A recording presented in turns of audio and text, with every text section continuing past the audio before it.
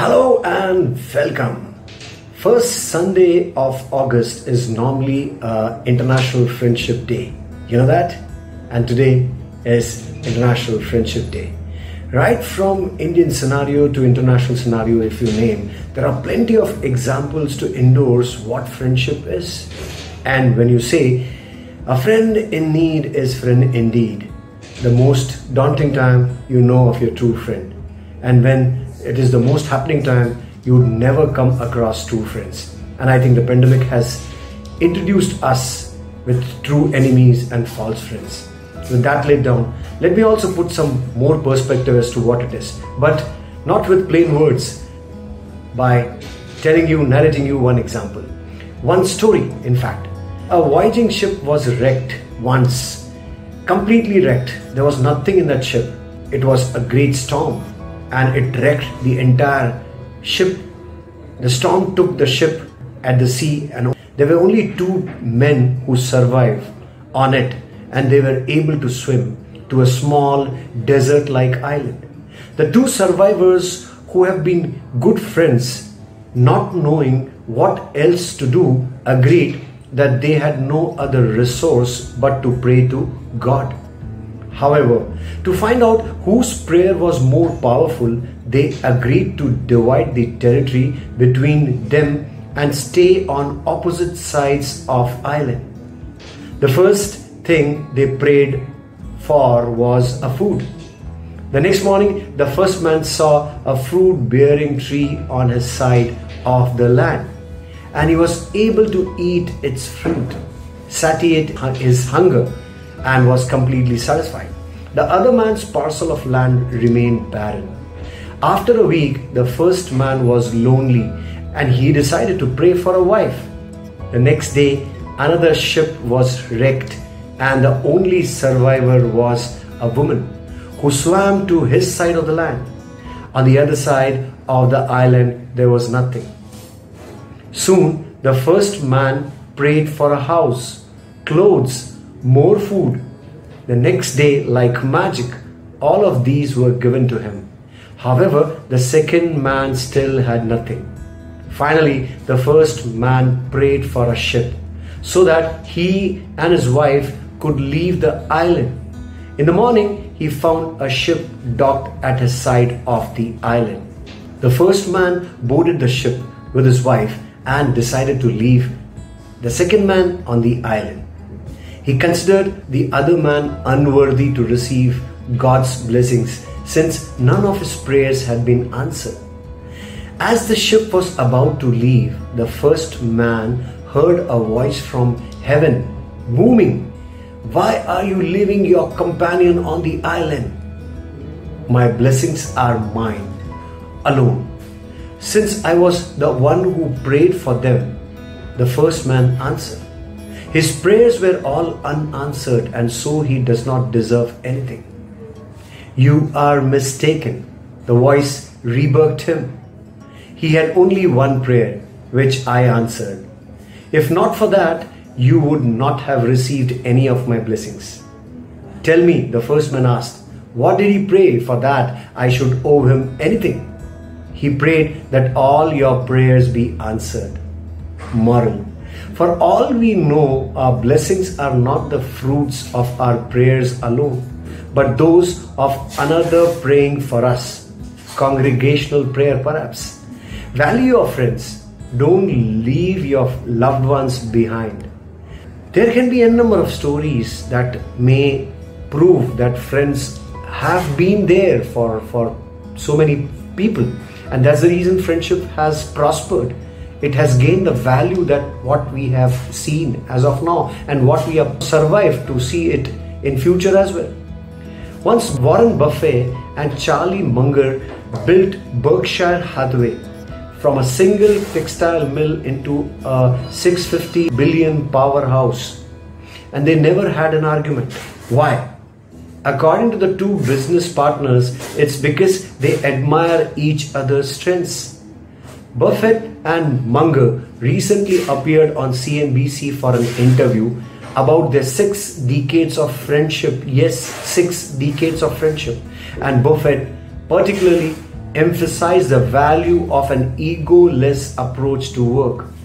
His advice for anyone who wants to lead a successful career or life it's better to associate with people who are better than you. Take a deep dig at mythology and see how Arjuna and Krishna, as his friend, guided him to clear the mind block first and then face the real blood as opponent and maybe kill themselves and come out as a triumph, as a winner. Likewise, the same Mahabharata has Sudama. Sudama as a not so affluent class, poor man, but always had a great love, affection, and maybe that kind of a belongingness to Krishna.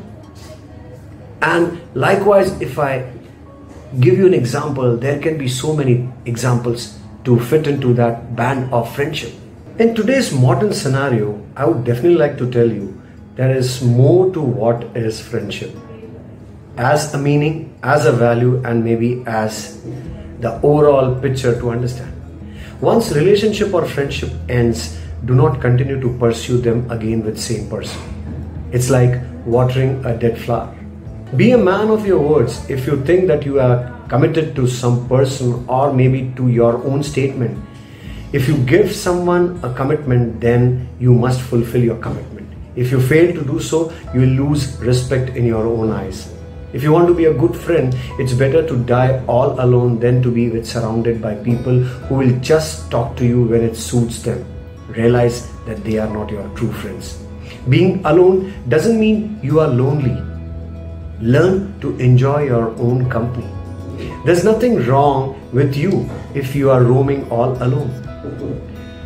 Don't drink poison just because you are hungry. Don't entertain toxic people just because you are lonely. Learn to respect others' opinion. There's nothing wrong if someone has different opinion from yours. Learn to use your time wisely.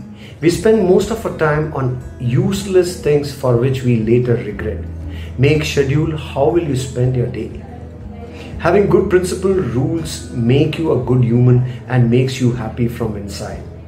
Trust your basic instincts. Most of them they are right never stop learning. We start learning from a moment from when we are born till we die. Learning makes you aware of your surroundings and you can make sound decisions. Life is too short to make mistakes. Learn from others' mistake. It will save much of time and energy. Weak and attractive are never coexisting attributes of a man. The women are attractive based on looks. The woman you choose has a massive impact on who you become. Never pick one randomly. Work on your fashion, work on your body, purpose, grooming, frame, and maybe seduction also. You gain self respect every time you resist low value pleasures. I'm sure there are so many things that we can learn other than friendship. But what friendship does to us is it makes us stronger. It makes us vulnerable. It makes us to listen to them. It makes us to bow to them. It makes us to gain that strength to maybe push that and pull that mountain or move that mountain. It gives us everything to live, live happily. It gives us the greater courage to maybe face difficulties in life. Friendship is something which is a ship of friendship. And you need to realize that ship is anchored sometime Ship can also take the torrid waves. Ship can also take an overload. So there is a responsibility, there is a camaraderie, there is a great sharing, there is always a great strength and value of friends in everybody's life. I'm sure while meeting strangers, you might have never thought that they will become your friends. So the power of being uncertain unpretentious, unpredictive, and exploring is what can lead you to friends.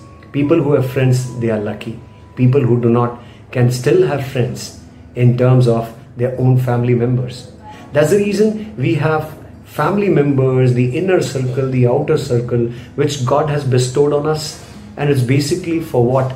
It is only meant to realize the importance of bonding, importance of that relationship. And these are mere the elixir of life. In pandemic time, most of us might have just lived another day because there were friends, there were people who were caring for us, there were people who were acting as a moral booster, they were a moral support to us. They were there, may not be physically, but on phone call. So, friends, friendship is something to give, not to take. And if you have more than one in your life, I'm very sure you are you can call yourself lucky. And there are plenty of stories which in the recent past, in the pandemic time, people have turned up as true friends. And you should not be shocked if you are in help to others, they call you as your friend. Friendship is something that you should keep very close to your heart. On this International Day of Friendship, I would only say that value people. Anybody can be a good friend. Only thing is, you need to give them sufficient time and maybe love. Don't expect to take. Instead, let's spark our full faith, trust, love, bonding, sharing, and maybe that expectations of being a good human and valuing the society at large. I'm sure you're going to do this not today, but all throughout. So the next International Friendship Day, you have a story to tell as I have plenty of this to take as an example to commemorate Happy Friendship Day. Thank you.